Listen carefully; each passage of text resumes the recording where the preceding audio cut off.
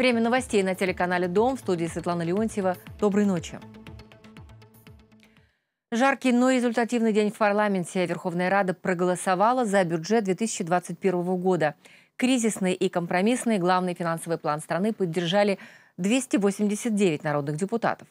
Сколько будет стоить доллар? Когда поднимут зарплаты? И хватит ли Минздраву 159 миллиардов гривен на борьбу с пандемией и вакцинацию от коронавируса? Артем Голуб разбирался. Україна з бюджетом. За 289 рішення прийнято. Закон прийнятий в цілому. Не идеальный и компромиссный. Это все о бюджете страны на следующий год. В 2021 Украина рассчитывает получить 1 триллион 92 миллиарда гривен доходов. А вот расходов 1 триллион 328 миллиардов гривен. Дефицит 236 миллиардов. Эту дыру в бюджете Украина будет закрывать за счет международных кредиторов. Ми дуже розраховуємо на міжнародний валютний фонд. Це безперечно не є якоюсь панацеєю чи перемогою. Наша співпраця з міжнародним валютним фондом, але з іншого боку, це є е, необхідністю сьогодні. Це є необхідністю сьогодні взяти кредит, використати його на подолання кризи і потім протягом трьох років відмовитися від кредитування МВФ. Це реальні абсолютно речі. Для сокращения дефицита бюджета депутатам пришлось отложить увеличение минимальной зарплаты до 6,5 тысяч гривен с 1 июля до 1 декабря следующего года. Медики недовольны, выкладывают в сеть видеообращения с требованием выполнить обещания и поднять им зарплаты. Ведь на нынешние 6-8 тысяч гривен им едва удается сводить концы с концами. Мой стаж составляет 35 лет, а зарплата всего 7 тысяч гривен. У меня есть семья и вторая работа, благодаря которой мы выживаем, потому что на такую зарплату выжить просто невозможно. И у меня вопрос к депутатам. Вы считаете это достойной зарплатой за спасенные нами жизни? Разве это справедливо? Нардепы успокаивают, о медиках не забыли и зарплаты будут расти. Но первым делом необходимо справиться с коронавирусом. В бюджете на медицину предусмотрели 159 миллиардов гривен. Более 22 из них пойдет на борьбу с пандемией и вакцинацию украинцев. Е, Також проголосували ще ряд е, правок позитивних. Я теж їх підтримала. Це виділення коштів на закупівлю ліків для орфанних хворих, тобто людей, які е, які хворіють рідкісними хворобами і які подекуди часто фізично не можуть для себе дістати лікування. Їх може закуповувати тільки держава в по спеціальних процедурах. На оборону Украина в 2021 году потратит 267 миллиардов гривен. Из них 98 получит Министерство внутренних дел, а Минобороны – 116 миллиардов. Видатки на потреби національної безпеки та оборони зростають до рекордного рівня 5,93% валового внутрішнього продукту.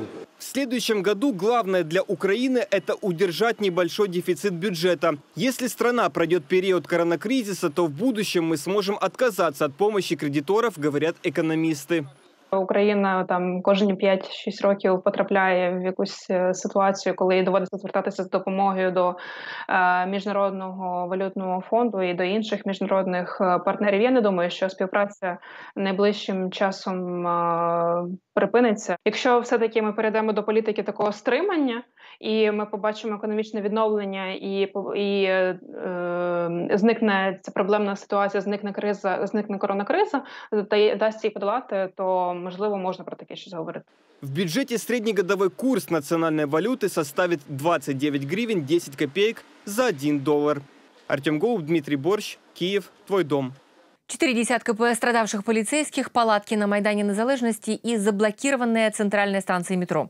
Это результат очередного протеста частных предпринимателей. Все началось с самого утра у стен парламента и до сих пор в центре Киева дежурит около тысячи участников акции «Сейф ФОП». Их не устраивают уступки власти, компенсации и отсрочка ведения кассовых аппаратов на год. В этих э, законопроектах отражены э, все ведущие моменты, которые устраивают ФОПов.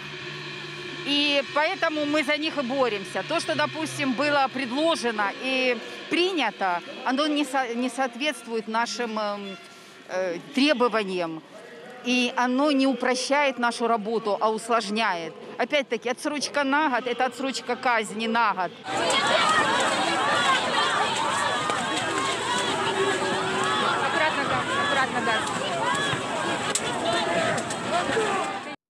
Парламенте тем временем заявляют готовы к диалогу с частными предпринимателями. Однако выполнить их главное требование и освободить от обязательного использования кассовых аппаратов невозможно. Без этого государство не сможет эффективно противодействовать контрабанде.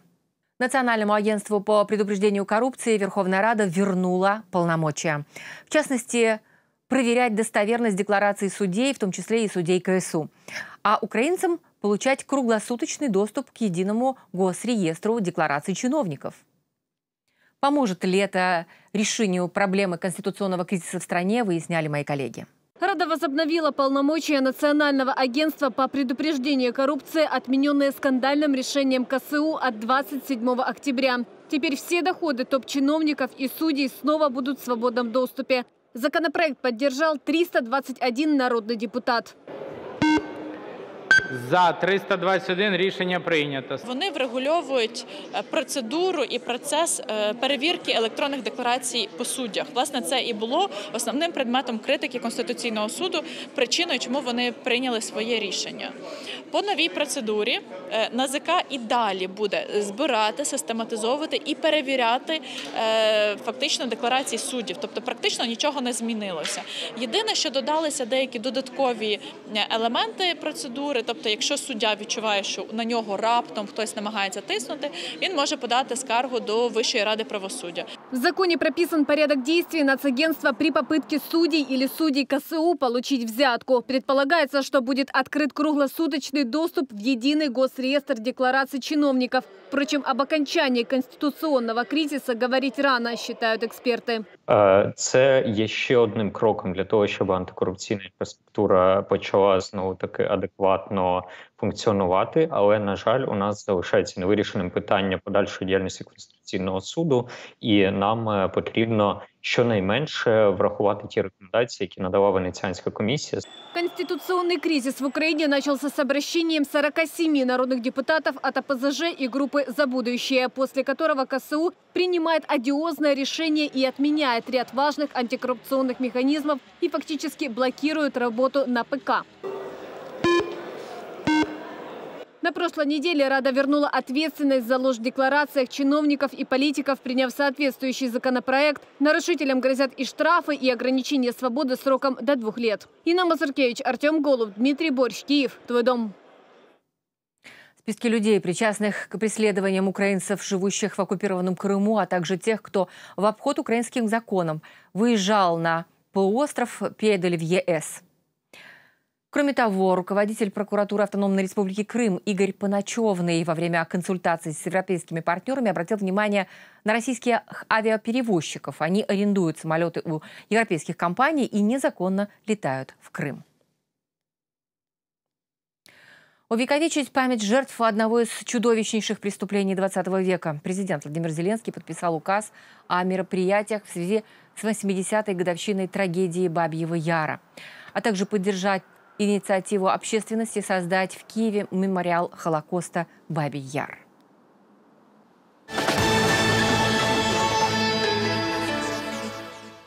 Как воспитать гения? В Украине запустили платформу и чат-бот «Нумо», о важности дошкольного развития. Здесь и подсказки для родителей, и увлекательные игры для малышей, которые научат находить друзей и различать хорошее и плохое. Як сказати, коли щось болить, хочеться в туалет або й просто попити. Тренуйтеся будувати взаємини під час гри вдома. Наприклад, обіграйте ситуацію, в якій дитина мала труднощі. Підкажіть їй, як поводитися, що сказати співрозмовнику. Даже простая игра или разговор с маленьким ребенком могут сформировать главные навыки в жизни. Например, найти друзей, общаться со взрослыми, различать эмоции. Для того, чтобы помочь родителям и воспитателям это сделать правильно, ЮНИСЕФ совместно с Министерством образования и науки Украины запустили сайт Нума для развития дошкольников. В нем подсказки, упражнения, игры, которые помогут ребенку в возрасте от 3 до 6 лет осваивать важные знания. Дитина не має е, такої змоги, що їй постійно щось пропонують. Їй потрібно навчитися самій питати і формувати свої потреби. І так само потрібно сформувати, що я хочу. І не соромитись запитати цього вихователя. Наприклад, я хочу стакан води, і вихователь повертається і, звісно, відповідає. Це одна із навичок. І ми розповідаємо батькам, як в формі, що ви це цю саме ситуацію програєте вдома, ви вчите дитину створювати правильний запит, формулювати свої бажання. Программа НУМА предлагает 16 базовых навыков, которые понадобятся во взрослой жизни. Каждому 10 шагов их развития. От простого к сложному и подсказки «расскажи», «сделай», «спроси». Например, как развивать у маленьких детей ответственность и делать выбор, заботиться о своей безопасности. І є ціла низка ігор, знову ж таки, різних вправ, наприклад, гра кордони. Да? Ми можемо вчити дитину пантомімою разом показувати незнайомий мені дорослий. От, Наприклад, розповідати дитині про інтимні частини тіла. Теж правило трусиків, да, кто может торкатися цих частин, кто не может. Кроме сайта Нума, родители и воспитатели смогут воспользоваться чат-ботом платформы Viber или Telegram. В нем получать индивидуальные советы для развития своего ребенка. Щодня ви отримуєте пораду, яка складається з трьох частин. І щодня це інш різна порада про різну навичку. Сьогодні про емоційну компетентність, завтра про саморегуляцію, післязавтра про як зробити коректний вибір. Чат-бот Нума уже скачали почти 8 тысяч родителей дошкольников. Разработчики платформы надеются, что инициатива станет популярной в Украине, а родители будут давать своим детям правильное дошкольное образование. Светлана Сыч, Юрий Шульга, Киев, Твой дом. Слава настигла героя. Владимир Кличко вошел в международный зал боксерской славы. В 2020-м сюда попали лишь три выдающихся спортсмена, среди них и украинец Владимир Кличко. На протяжении 15 лет он был обладателем чемпионских поясов всех версий, кроме WBC. Он был у его брата Виталия Кличко. Командный чемпионат Украины по прыжкам в воду стартовал в Киеве. 13 комплектов наград разыграют лучшие спортсмены из 9 команд. По итогам чемпионата будет сформирована сборная Украины на следующий сезон. В командных соревнованиях смешанных пар на трехметровом трамплине и десятиметровой вышке победил дуэт, представляющий Донецкую область, Ника Шурда, Станислав Алиферчик. Особенно ценной золотая медаль стала для Ники Шурды. Это ее первое выступление после тяжелой травмы – перелома обеих рук. Для восстановления 16-летней спортсменки понадобился целый год. Чемпионат Украины продлится до 19 декабря. Рождественское настроение – это важно. Жителям Сеула его создают кошки. Кафе Cat Garden стало приютом для многих кошек, спасенных с улиц. Оно работает уже 4 года.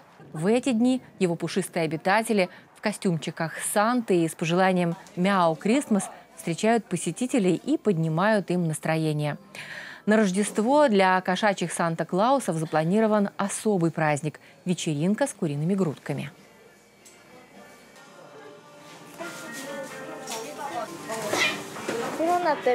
Из-за вспышки коронавируса было сложно долго оставаться дома. Мне очень захотелось увидеть кошек, погладить их. Здорово, что я могу наслаждаться в их компании праздничной атмосферой даже во время пандемии.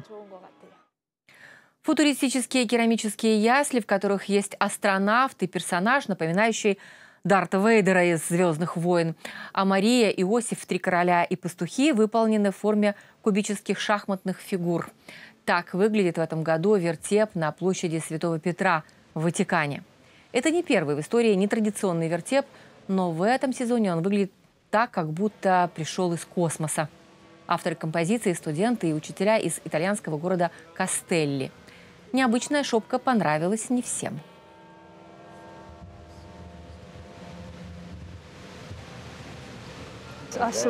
Увидев это, я представила кегли для боулинга с младенцем Иисусом в виде шара. Очень странный вертеп. Трудно поверить, что они это сделали. Это современно. Он напоминает 1969 год, когда первый человек совершил полет на Луну с астронавтами и тому подобное. Это что-то новенькое. Одним это нравится, другим нет. С пожеланием мира и оптимизма. Я прощаюсь с вами до завтра. Утром в этой студии встречайте Дарью Вершиленко. Напоминаю, новости телеканала «Дом» всегда можно найти в соцсетях. Доброй ночи и удачи!